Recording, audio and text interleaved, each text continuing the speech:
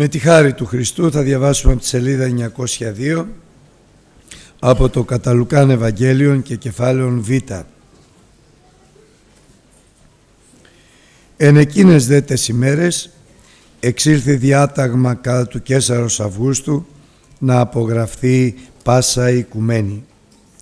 Αυτή η απογραφή έγινε πρώτη ότε ηγεμόνευε της Συρίας ο Κυρίνιος και ήρχονται πάντες να απογράφονται έκαστος εις την εαυτού πόλη. Ανέβη και ο Ιωσήφ από της Γαλιλαίας, από της πόλεως, εκ της πόλεως Ναζαρέτ, εις την Ιουδαίαν, εις την πόλη του Δαβίδ ή της καλείται Βιθλέμ. Επειδή αυτός ήτο εκ του οίκου και της πατριάς του Δαβίδ για να απογραφεί μετά της Μαριάμ της ηραβωνισμένης με αυτόν εις γυναίκα ή της ήτο έγκυος και νόησαν εκεί επληρώθησαν η ημέρα να γεννήσει. Και γέννησε τον ιόν αυτής των πρωτότοκων και εσπαργάνωσεν αυτόν και κατέκλυνε αυτόν εν τη φάτνη διότι δεν, υπο, δεν είναι το τόπος δι' αυτούς εν το καταλήμματι.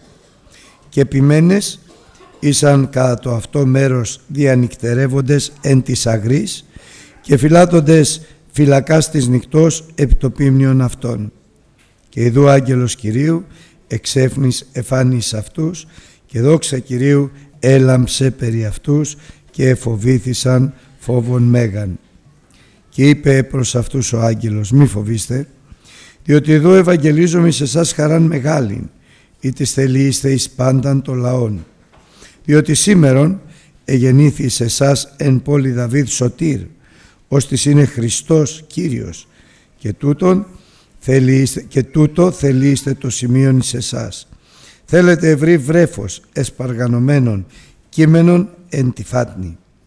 Και εξέφνης μετά του αγγέλου εφάνει πλήθος στρατιάς ουρανίου υμνούντων των Θεών και λεγόντων δόξα εν υψής της Θεό και επιγής ειρήνη εν ανθρώπης ευδοκία.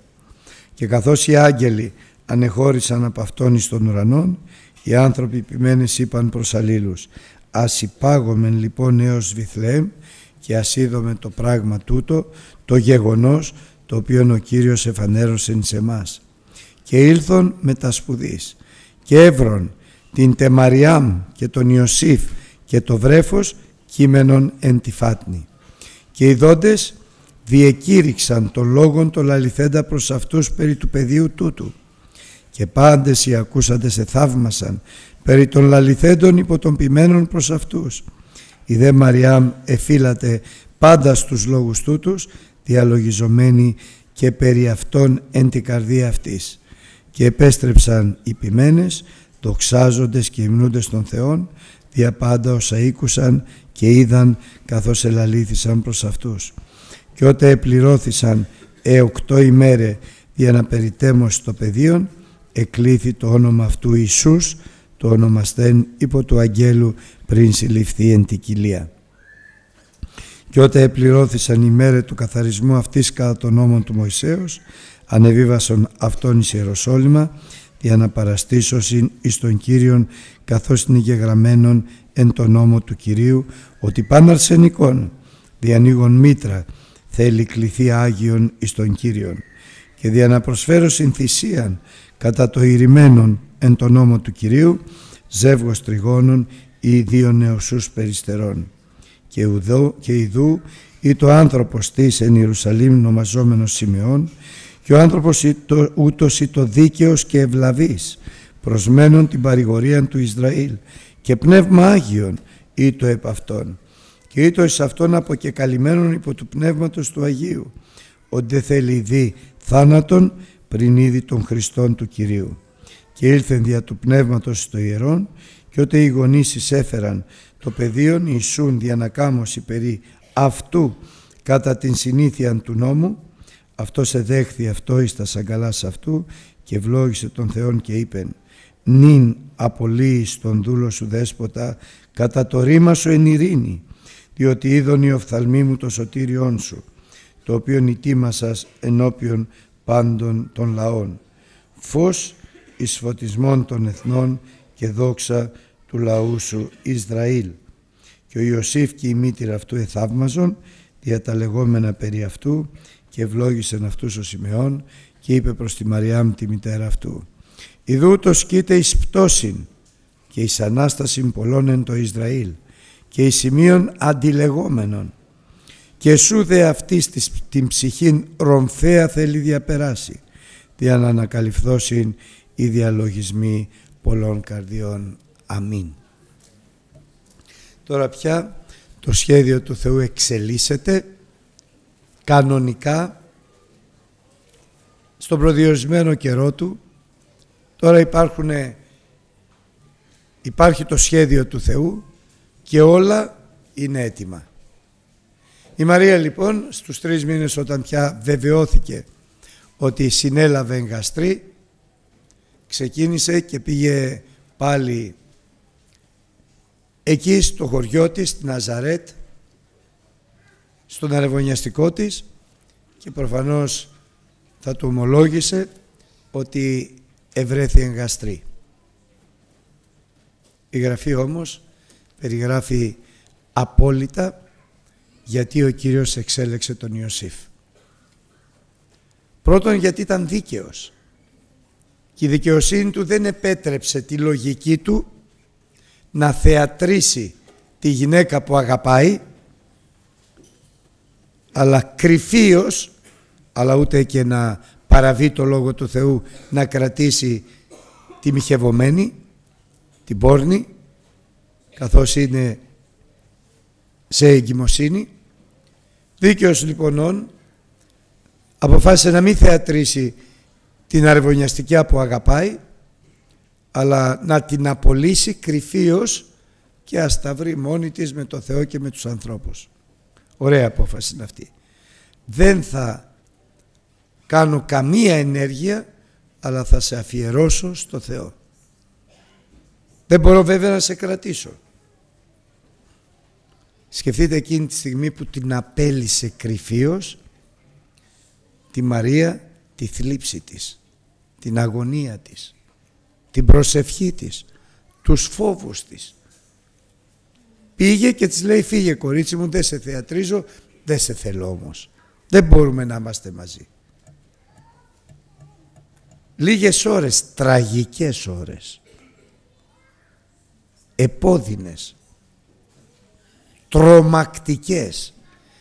Εκείνο που την περίμενε εφόσον την απόλυσε, απέλυσε κρυφίως ο νηδισμός καθώς θα μεγάλωνε η κοιλιά της και το πιθανότερο λιθοβολισμός. Αλλά η δοκιμασία του Αγίου κρατάει για λίγο και ευχαριστούμε το Θεό γι' αυτό. Το ίδιο βράδυ ο Κύριος αποστέλει τον άγγελό του στον Ιωσήφ. Και του λέει Ιωσήφ ιέ του Δαβίδ μη φοβάσαι να παραλάβεις Μαριάμ όχι την αρεβωνιαστικιά σου τη γυναίκα σου.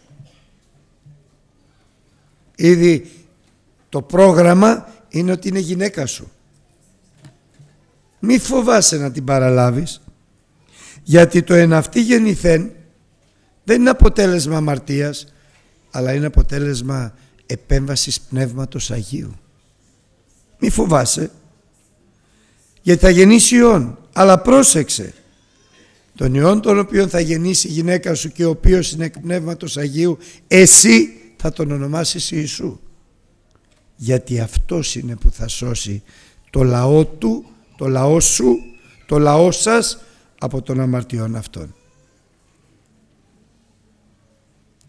Και ο Ιωσήφ άμεσα Μόλις ξύπνησε, τρεχάλα πήγε στη Μαρία. Έλα Μαρία, σ' αγαπάω. Έλα είσαι η γυναίκα μου. Σκεφτείτε τώρα τη χαρά της Μαρίας.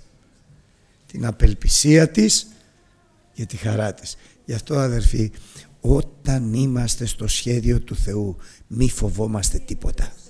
Τίποτα. Βλέπεις ότι ο Θεός εργάζεται έργο με σένα σε αναγέννησε, σου έφτιαξε τη καρδιά και βαφτίστηκε σε νύδατη στο όνομα του Χριστού Σε βάφτισε με Πνεύμα Άγιο. Σου μιλάει, σε κατευθύνει, σε ελέγχει, σε μαλώνει, σε προτρέπει. Εργάζεται έργο. Μη φοβάσαι. Από πολλά θα μας περάσει ο Θεός. Γιατί; Γιατί πρέπει να αγωνιζόμαστε τον αγώνα των καλών. Πρέπει να περπατάμε με τα πάσης προσοχής στο δρόμο που ο Θεός έχει ετοιμάσει για μας. Όχι το δρόμο που εσύ θέλεις, εκεί την πάτησες. Εκεί θα έρθουν αποτυχίες, ταλαιπωρίες. Για να καταλάβεις και να επιστρέψεις. Πρέπει να περπατήσουμε στο δρόμο που ο Θεός έχει ετοιμάσει. Και πώς θα τα καταφέρουμε; Μη βιάζεσαι. Και ο Κύριος θα κατευθύνει την οδόν σου. Θα φτιάξει το δρόμο σου. Μη βιαζόμαστε να παίρνουμε αποφάσεις. Μη βιαζόμαστε να δίνουμε λύσεις στα προβλήματά μας.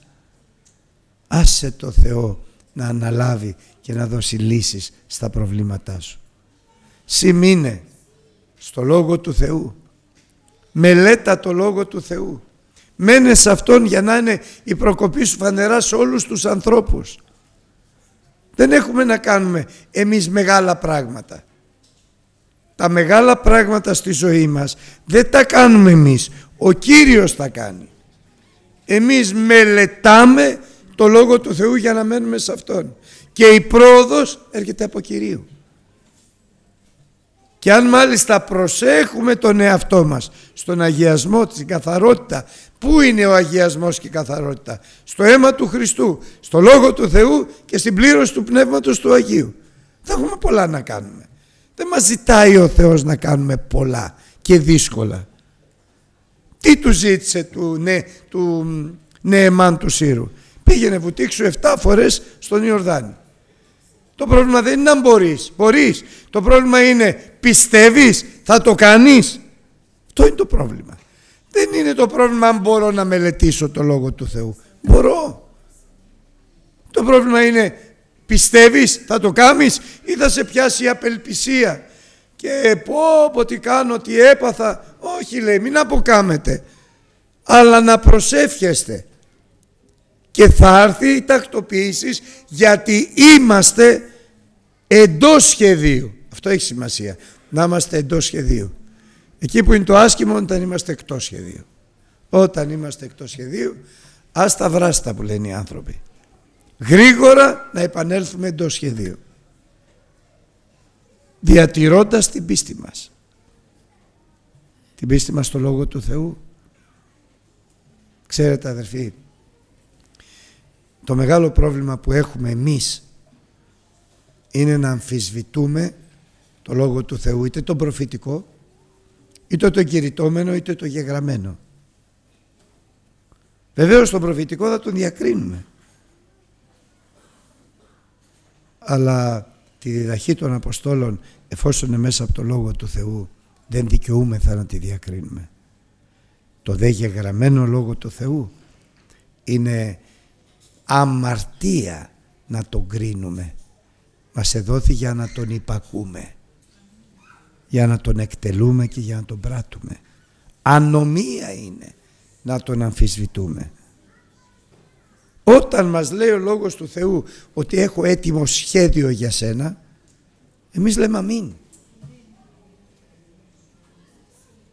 Και τι κάνουμε; Υπομονή για να πράττουμε το θέλημα του Θεού ώστε να απολαύσουμε την επαγγελία του Θεού. Χρειαζόμαστε υπομονή. Χρειάστηκε υπομονή μιας μέρας. Μιας ολόκληρης μέρας η Μαρία. Αλλά σκεφτείτε τη χαρά που είχε όταν ήρθε ο Ιωσήφ και λέει «Μαρία, είσαι η γυναίκα μου, γρήγορα να παντρευτούμε. Το παιδί αυτό δεν είναι δικό μου, του Κυρίου είναι». Δεν είναι αποτέλεσμα αμαρτίας, αποτέλεσμα ευλογίας μεγάλης είναι. Σκεφτείτε τη δοξολογία στο Θεό, την ευγνωμοσύνη, την ευχαριστία, τη χάρη στο Θεό. Και πέρναγε ο καιρός.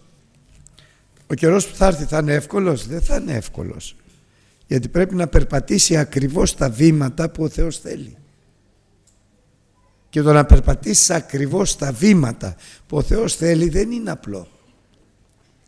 Και επειδή γνωρίζει και την αδυναμία του ανθρώπου να υπακούσει σε πράγματα που τελικά δεν θα χωρέσουν στην καρδιά του ο Θεός τώρα δεν επισκέπτεται με άγγελο τον Ιωσήφ για να το στείλει στη Βιθλέμ που πρέπει να γεννηθεί αλλά βάζει στην καρδιά του Κέσαρα του Αυγούστου. Εκείνη τη δεδομένη στιγμή των εννέα μηνών της εγκυμοσύνης ή των οκτώ μηνών, των εννέα μηνών λίγο, λίγες μέρες πριν γεννήσει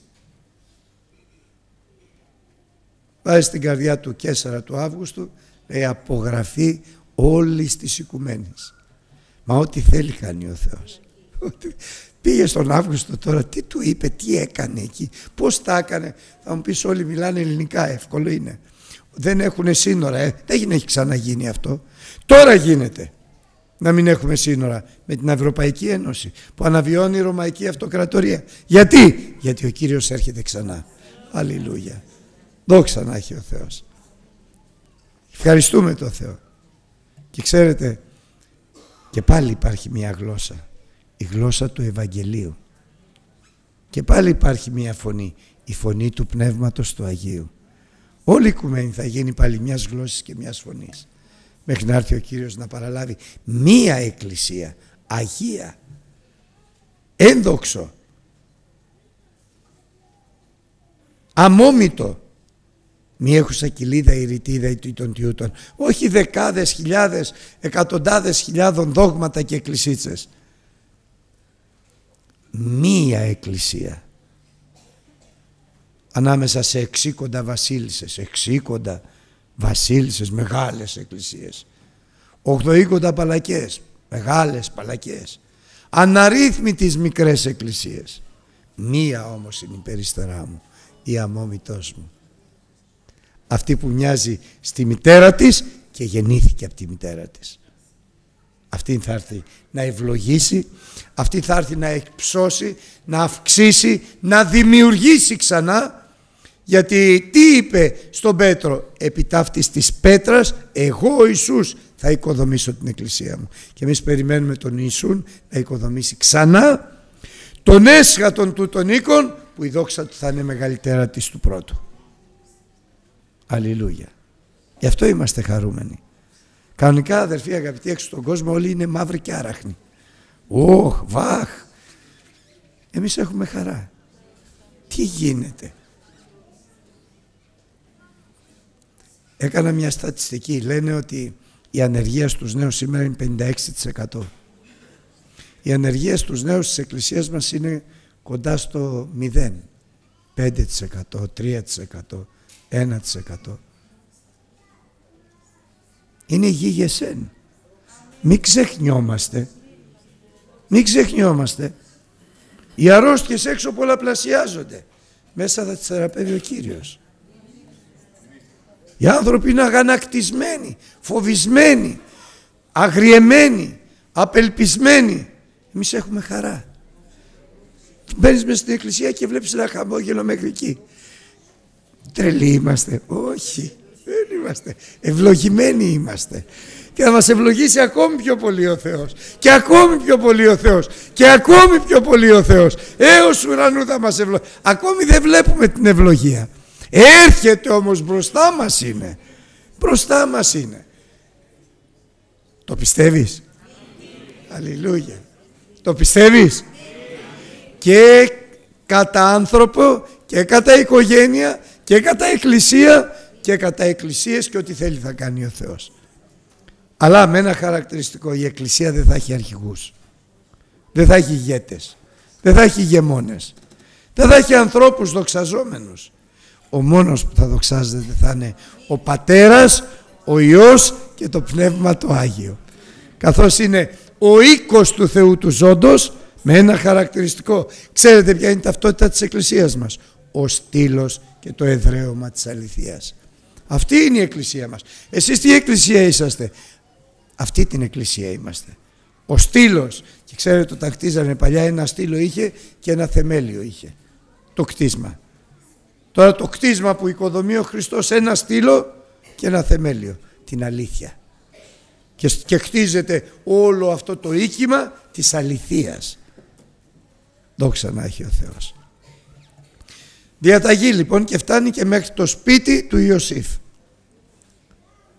Ιωσήφ πρέπει να πας στη Βιθλέμ. Κοιλιά, ξέρετε, 9 μήνων πόσο είναι.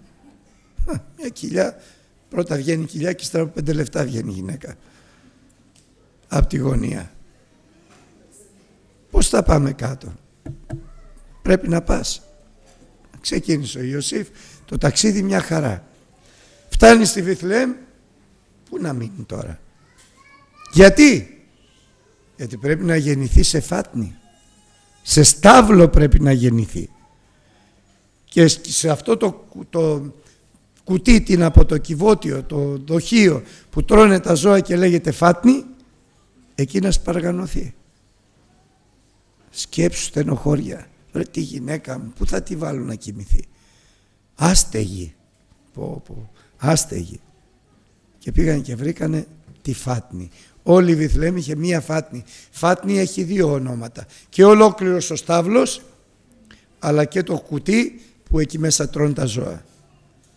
Αφού δεν υπήρχε τόπος στο κατάλημα για τον Ιωσήφ και τη Μαρία, μπήκανε στο στάβλο. Και εκεί στο στάβλο γέννησε η Μαρία. Ούτε μαμή, ούτε με ευτήρ. Ο Χριστός τα έχει αναλάβει όλα. Δόξα στο Όλα τα έχει αναλάβει ο Χριστός. Μια γένα ούτε πόνεσε καθόλου. Εγώ λέω. Έτσι. Το πήρε το παιδί, το σπαργάνωσε, το βάλε στη φάτνη. Τώρα τι θα κάνουμε; Αρχίζει σιγά σιγά η ψυχή και χαλάει. Η καρδιά χαλάει. Ε, το Υιός του Θεού στη φάτνη. Αυτό ήταν η γέννησή του. Μόνοι μας ταλαιπωρημένοι χωρίς λεφτά, χωρίς τίποτα. Και ξαφνικά μια ομάδα τσομπαναρέων μπαίνει στη Φάτνη. Λέει πού είναι, πού είναι, ποιος; Το βρέφος, το εσπαργανωμένο στη Φάτνη. Κάνε, ε, αυτό είναι. Τα χάσαν αυτοί. Γιατί, α, σας πω. Ε, και αρχίζει η ομολογία. Ξέρετε αδελφοί, το κήρυγμα του Ευαγγελίου δεν είναι διάλεξης είναι ομολογία.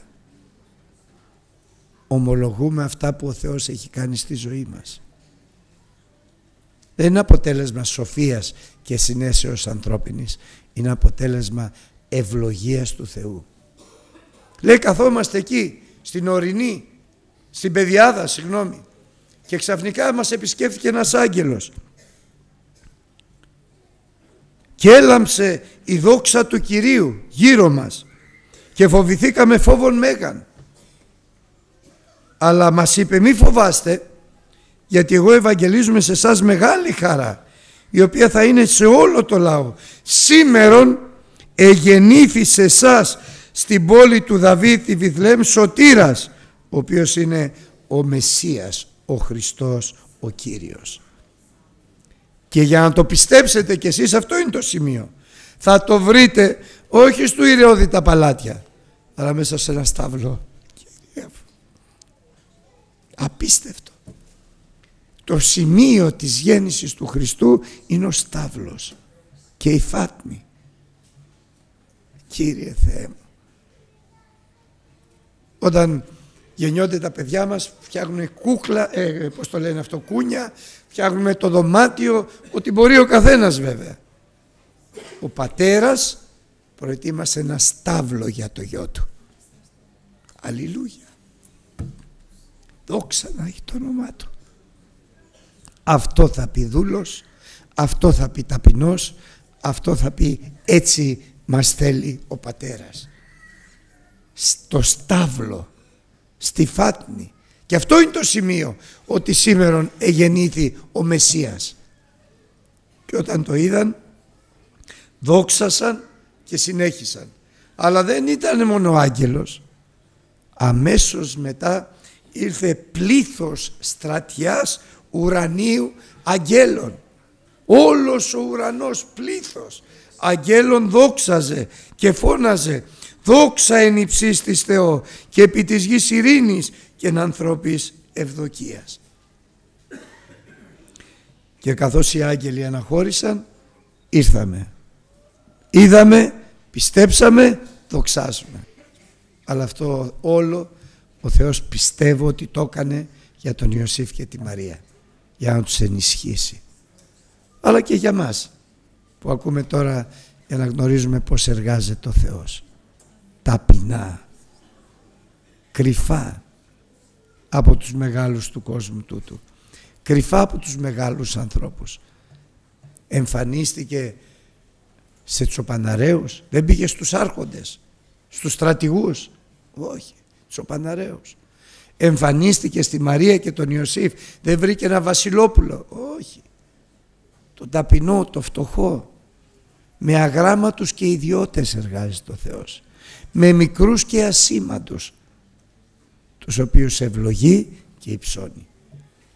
Με το Μωυσή εργάστηκε, έναν που βόσκε τα πρόβατα ούτε τα δικά του, του πεθερού του. Με το Δαβίδ, έναν τσοπανάκο. Με το Δανιήλ, έναν εχμάλωτο. Με τον Πέτρο, ένα ψαρά. Έτσι εργάζεται ο Θεός. Όσο μικραίνουμε, τόσο θα μεγαλώνει ο Χριστός στη ζωή μας. Η Μαριάμ χάρηκε. Ο Ιωσήφ δόξασε και επανήλθε η καρδιά στη θέση τους. Πράγματι ο Υιός του Θεού είναι. Αλλά το έργο συνεχίζεται. Σε οχτώ μέρες τον βγάλανε Ιησού. Στις 40 μέρες το πήγανε για την περιτομή. Και εκεί όταν το πήρε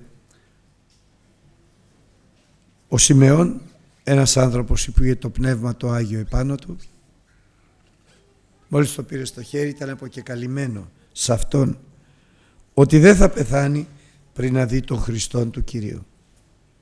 Γέροντας το πήρε στο χέρι του, επλήστη πνεύματος Αγίου και με παρησία ενώπιον του Ιωσήφ, της Μαρίας και των παρευρισκομένων είπε τώρα μπορώ να πεθάνω Κύριε. Νυν απολύεις το δούλο σου δέσποτα. Σύμφωνα με τα λόγια σου με το λόγο σου, με το ρήμα σου που εξέφρασες σε μένα ότι δεν θα πεθάνω αν δεν δω το σωτήριόν σου. Το είδα τώρα έλα Κύριε και πάρε με. Τέλειωσε η αποστολή μου. Με κράταγες για να ομολογήσω ενώπιον του Ιωσήφ και της Μαρίας. Για να τους ενισχύσω πάλι δια Πνεύματος Αγίου. Οι οφθαλμοί, οι οφθαλμοί μου είδον το σωτήριόν σου το οποίον ετοίμασα ενώπιον πάντων των λαών.